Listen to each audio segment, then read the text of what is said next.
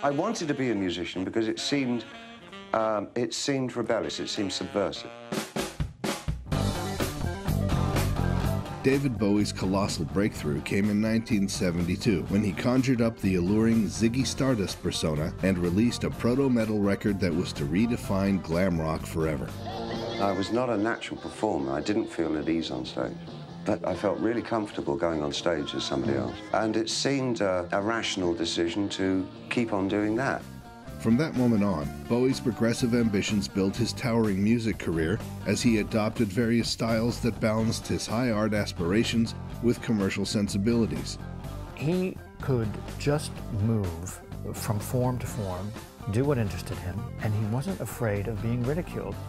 Throughout his decade spanning career, he had a number of top 20 albums and singles that were performed by the different personas he adopted Ziggy Stardust, the Thin White Duke, and the kimono wearing Aladdin Sane.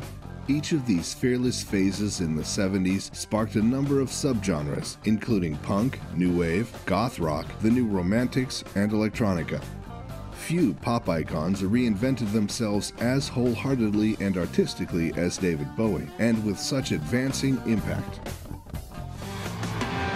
Now Ziggy play guitar, jamming good with weird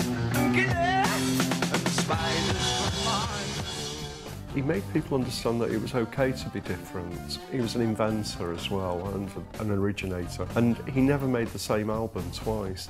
Governed by a determination to steer away from the cliches of rock and roll, not only did he influence other artists, but he encouraged the world to engage with music and culture on a whole new level. With exclusive footage and interviews, we look back at the iconic legacy and pay tribute to one of the world's cultural heroes, David Bowie.